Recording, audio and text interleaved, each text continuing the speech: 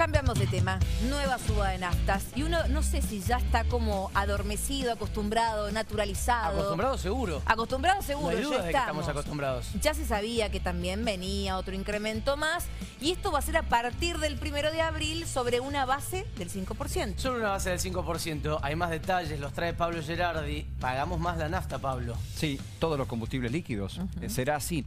Pero no hay que olvidar que esto es solamente el prorrateo del viejo impuesto a los combustibles líquidos y a la emisión de dióxido de carbono, dos gravámenes que venían rezagados, o sea, se está poniendo al día el Estado en un impuesto que congeló tiempo atrás.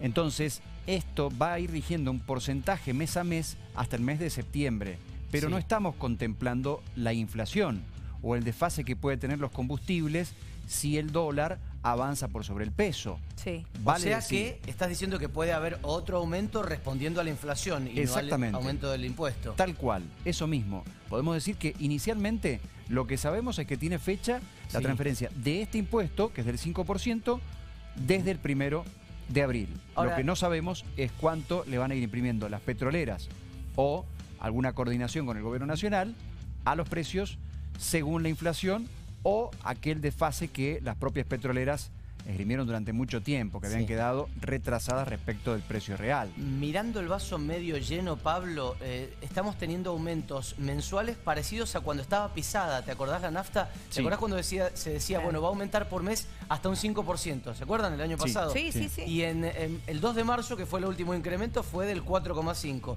El 1 de abril sería del 5. Sí. Si no se da esa otra suba de la que vos hablás, estamos teniendo prácticamente pasos que son parecidos a cuando lo había pisado el gobierno nacional. Sí, más o menos, y por debajo del porcentaje inflacionario, También, seguro. Salvo otro febrero detalle. que tuvo dos Sí. incrementos. Eh, pero bueno, también hay que recordar que aquí hay variables que eh, están quedando más libres. Por ejemplo, el eliminar el barril criollo, ese precio de referencia del petróleo para las petroleras, Claro. eh, y ya sujetarse a los, va- los vaivenes del petróleo a nivel internacional, que es un commodity.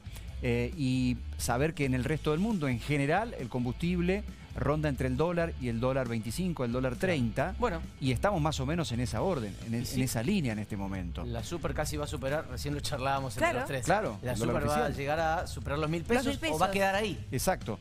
Y si tiraba hacia arriba el dólar blue o los otros dólares alternativos, han bajado considerablemente. Así que prácticamente entre los combustibles premium y, la super, que es la de referencia y de mayor venta, estamos prácticamente en torno del dólar. Así que veremos, inicialmente primero de abril, 5% hacia arriba, solamente porque opera ese impuesto.